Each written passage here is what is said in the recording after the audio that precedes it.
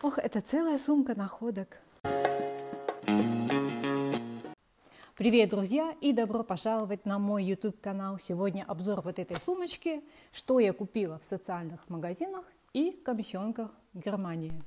Пока ждала на кассе, когда мне упакуют мою покупку, и все время глазами возвращалась на эту полочку с посудой к этим чашечкам. И сказала продавцу, минутку, я кое-что еще возьму. Очень красивые две кофейные пары. Они изготовлены из костяного фарфора, очень высокого качества.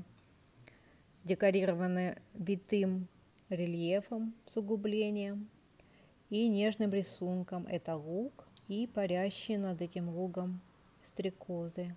Такой же рельеф мы видим внутри чашечки – он повторяет рельеф с внешней стороны, только он выпуклый. И по кромке чашки проходит золото. И это Ломоносовский фарфоровый завод. Такое клеймо красное ставилось только на изделиях первого сорта. И это полностью ручная работа. Изготовление такого фарфора не поддается автоматизации – Фарфор настолько тонкий, что получил название яичная скорлупа. И, конечно же, первый, кто изобрел этот такой фарфор, это Китай. В России рецепт костяного фарфора был получен самостоятельно в 60-х годах прошлого века, так как э, готовый рецепт было получить невозможно. Но изделия, полученные из этого фарфора, оказались белее и тоньше английского фарфора. Все разработчики рецептуры получили государственные премии Советского Союза. Оказывается, есть еще и комиссионки в Германии, где покупают у людей вещи, это в основном мебель, и тут же продают, и это частные магазины. В одной из таких комиссионок я нашла вот эти вот два прекрасных хрустальных флакона. Это 50-е годы, ручная шлифовка – и меня привлекла вот эта вот форма интересная. И, конечно же, вот эта вот шапочка, пробка, похожая на немножко на шапочку китайского мандарина. И флакон-то был еще и содержимым, там были очень старые какие-то духи, но настолько они уже были забродившие и темно-коньячного цвета, что я действительно подумала, что там какой-то коньяк налит. И мы с продавцом долго нюхали и принюхивались к этому флакону и все-таки сделали вывод, что это старые духи.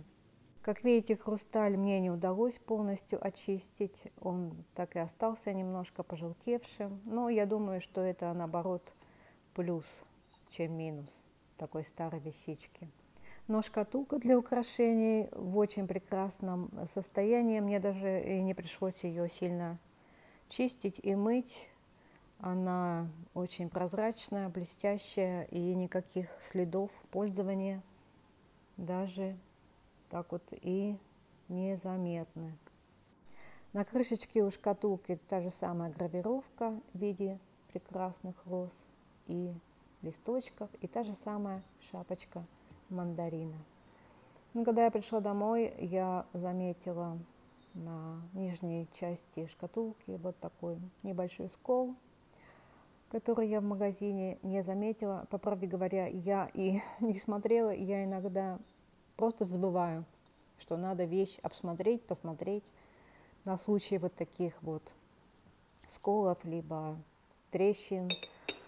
Но расстроилась я, конечно, и уже не вернуть, потому что это не тот магазин, куда можно вещи вернуть. Но что же поделать? Это что за странное сооружение, подумала я, когда я увидела этот э, чайник, заварник или это самовар. Увидела я эту вещичку тоже в этой же комиссионке, где я купила флаконы.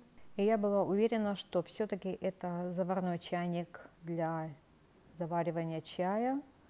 Вот сюда в насадку насыпается заварка, наливается вода, но вода должна наливаться и в сам чайник, и в насадку. Но как потом наливать э, заварку в чашку. Если наливать, то вода будет выливаться из вот этой вот э, щели тоже, вот отсюда. Что это за бесполезная вещь, подумала я. Но потом стала разбирать эту насадку и увидела здесь вот такую емкость, видимо, для заварки. Но в самой насадке я обнаружила очень тоненький, почти незаметный глазу фильтр. И по радиусу этого фильтра написано кофейный фильтр и имя производителя. Ну, теперь мне понятно, что это за такой за чайник. Сюда насыпается кофейный порошок, через него пропускается кипяток, и через фильтр мы получаем прекрасный, божественный кофейный напиток. Сам чайник выполнен в очень интересной форме. Это 70-е годы, ручная роспись, цветочный мотив, и это настоящий кобальт. Эта роспись мне немного напоминает голландскую посуду, расписанную в стиле Дельфт Бляу. Есть такой город Дельфт в Голландии, где существует одна манифактура, очень известна, и там в таком стиле расписывается посуда. Я думаю, что чайником можно пользоваться и как обычным заварочным чайником, он прекрасно смотрится и с этой крышечкой. И это клеймо Lichte in Pisau, и ставилось такое клеймо 62 по 80 год.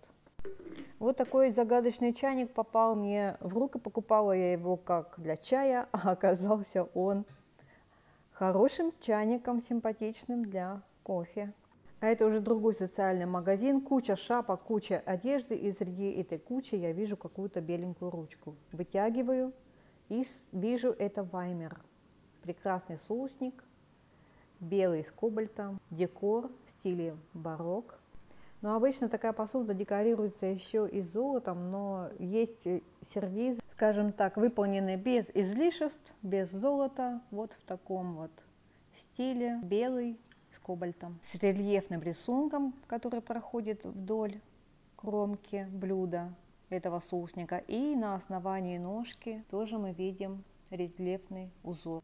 В общем, это я удачненько зашла и не пропустила эту кучу шапок.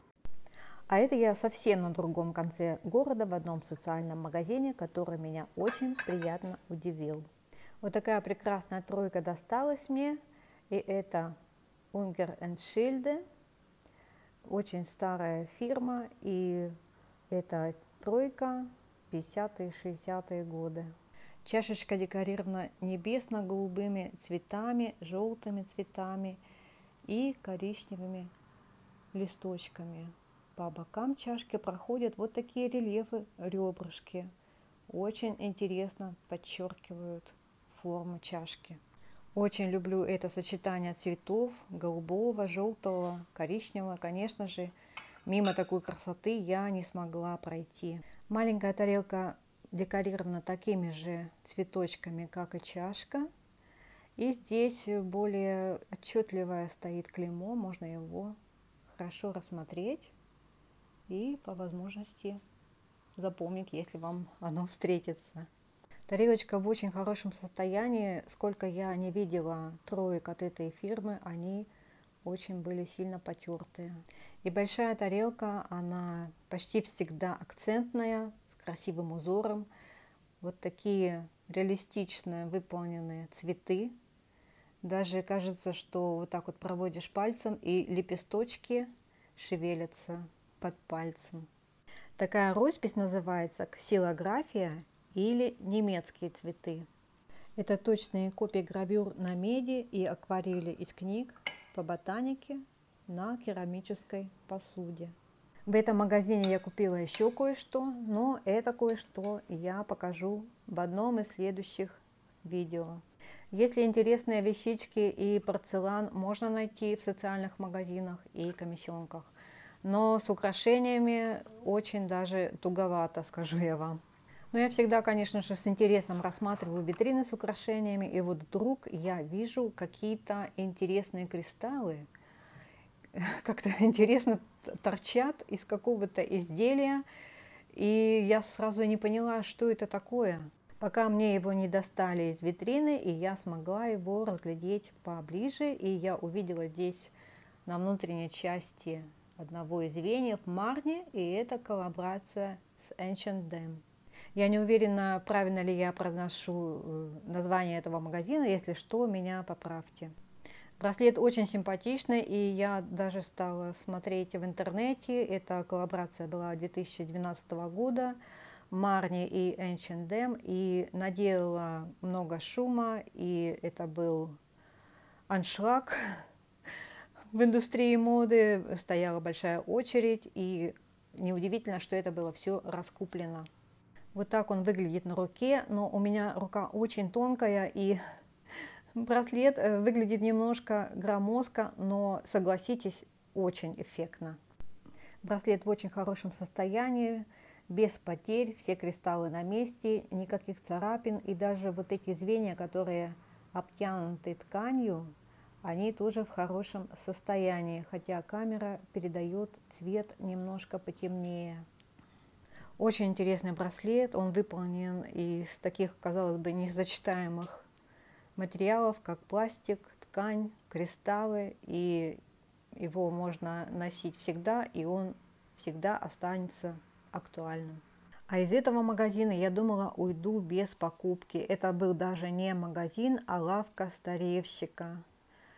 Очень странная, была темная и иногда местами жуткая и жутко высокими ценами. Но когда я стала уже выходить, я увидела вот эту тарелку. Она была тоже не дешевая, но она была чистая, единственная вещь, которая, на которой не лежала вековая пыль.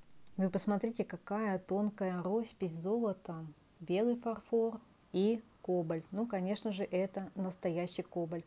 Но вот кое-где есть э, потертости с одной стороны тарелки и с другой стороны тарелки. Но это не так страшно. Тарелка 60-го года, 32 сантиметра в диаметре эта тарелочка и достаточно тяжеленькая. И посмотрите, как вот эти белые лилии, наверное, и остальной декор тарелки подчеркнут золотым тиснением. И это фирма Ваймер. И у этой тарелочки, у этой серии есть имя, оно женское, Йота. Это был очень удачный поход по комиссионкам и социальным магазинам, и я даже сняла видео, но я его еще до конца не смонтировала. Думаю, э, я сделаю это в ближайшее время, и через неделю, через две я вас приглашаю просмотру.